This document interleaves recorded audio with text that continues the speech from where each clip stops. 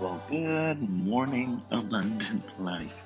This is Pastor Cranston wishing you a wonderful day in the Lord. This indeed is the day that the Lord has made, and we will rejoice and be glad in it. We are just coming out of another weekend lockdown and Mother's Day. Wow, this was a unique Mother's Day indeed. But we had a wonderful time, wonderful service, so enjoyed it. But um, in our service, our the president of our women's ministry shared an encouragement. Actually, one of those was from the book of Romans, Romans chapter 8, and she's encouraged ladies to say, if God be for us, who can be against us? And I just read that the night before and was having just some some thoughts on it and just wanted to share with you this morning just some devotional thoughts just from two verses in Romans chapter 8. During this time, it is one of those times when we can look at scripture and go, really? Really?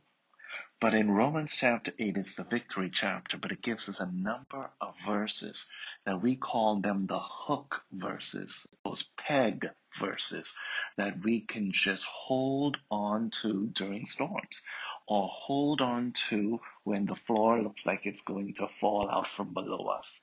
Because those are the peg verses, those are the hook verses for us to help us weather the times that are tough. And Romans 8 just filled with those verses. But there are times when you're in the middle of the storm and you're going, Really? Romans chapter 8, verse 28, one of those, and then we'll, verse 31. Verse 28 says, And we know that all things work together for good to them that love God and to them who are the called according to his purpose. So again, one of those verses you go, Really?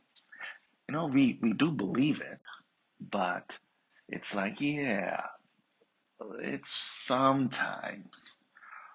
But as we look at the verse, does it not say, and we know that all things work together for good to them that love God and to them who are the called according to his purpose? All things, really?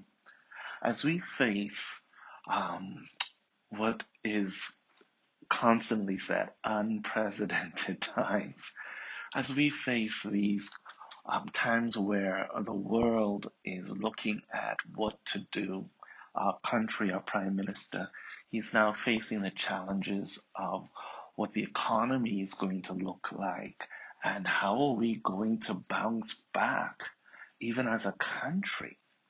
And if he just spoke to us yesterday about how many job losses and how many people will be in financial need. Well, this is still the comfort for us as believers. We can allow the, the hugeness of what's happening to overwhelm us, or we could hold on to the hooks in God's Word to weather these times. And this is one of those times we as God's people need to hold on to these hooks. The hook in verse 28. And we know. This is this is a voice of assurance. This is not the time to guess or hope. It's like when we say to someone, you can know you're saved. Well, nobody can really know.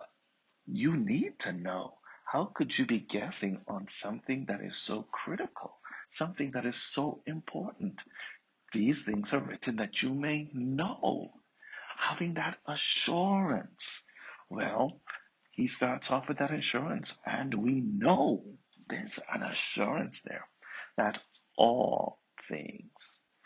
Now, all things covers all things, does it not? So, what does this verse not cover?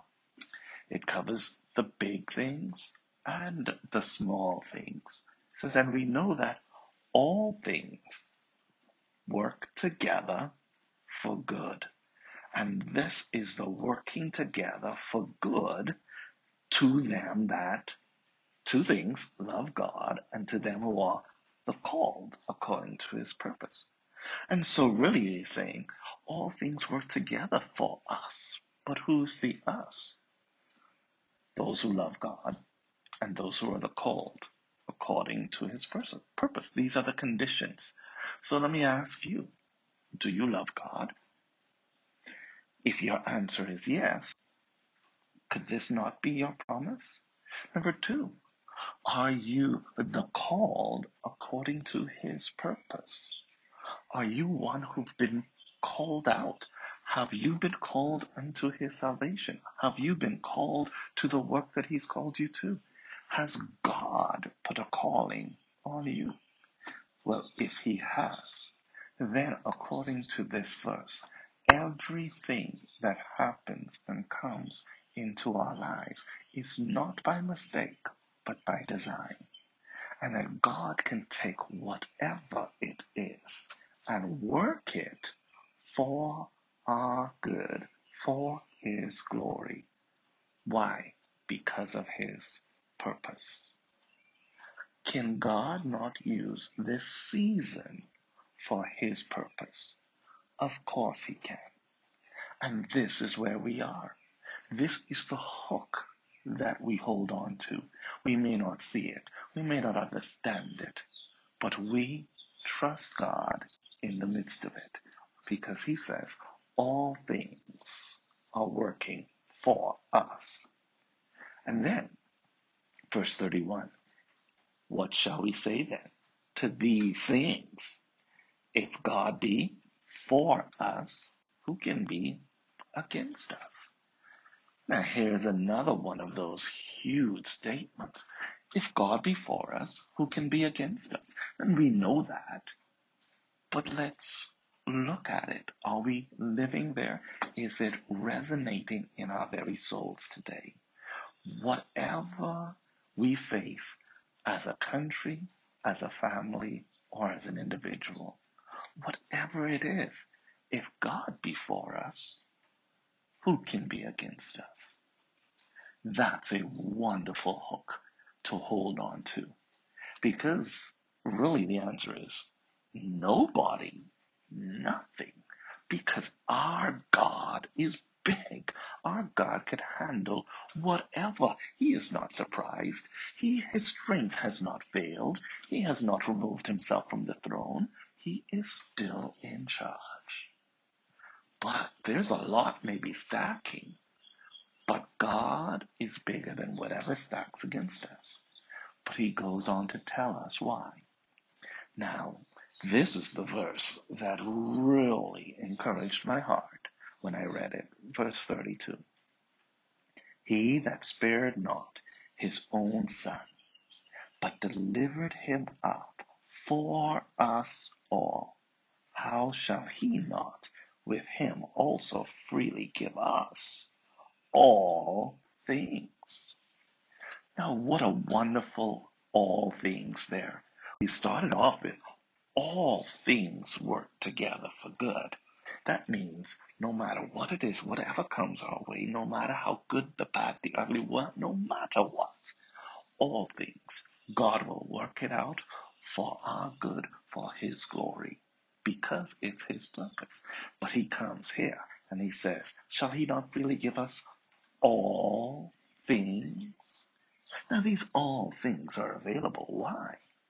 Because the God who spared not his son, but delivered him for us. Now, if God could give up and deliver his son for us, how shall he not with him freely give us all things? Do we know God? When we know God, we can hold on to the promises of God because we know He is good for it. I tell you, there were times um, I remember early on in evangelism when we would be traveling. I traveled to to many churches preaching and and you won't know um, what the offering is. Sometimes you don't get the offering until the end of the week, but you have to live um, during that week. And I'll tell you, it it's a time. It was a time of true um, stretching and trusting. And I do remember just being with different pastors. Some of them, you know, hey, let's go out to eat, and, and they go out to eat. But you know, there are times where you know we we have to pay for ourselves because the check is coming at the end of the week, or he'll take us um, some places. But usually, if it's a food place, he would cover it.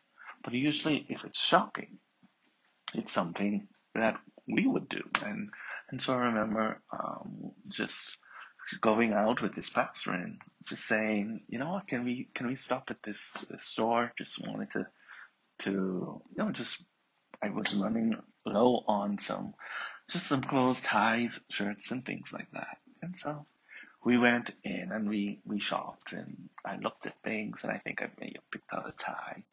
And he's like, look at some suits, man. I'm like thinking, I don't have no money for no suit. and well, you could figure it out. By the end, um, I was trying on suits, and we got up to the counter, and he threw out his credit card, and he said that suit that he tried on, add that to his tie, and I got it. Why? Because his card was good for it. Because of who I was with, it was all good. It was all paid for because who was for me? Well, I'll tell you during this time, no matter what it is that we are facing, who is for us? Who can be against us? All things are covered. What a wonderful place to rest. What a wonderful hook to hold on today. God has our back. Father, we thank you. Thank you for the truths of this passage, this wonderful passage in Romans chapter 8. Lord, I do not know what we're facing today. Many people are facing different things, Lord. I do pray that through it all, that we remember, Lord, that all things work for our good when we love you, when we're called according to your purpose. Help us to remember that nothing can be against us because you, you are for us and you love us. Lord, be glorified today and ask, we ask your blessing upon all who are listening. And we pray this now in Jesus' name. Amen. Light of the world, you step down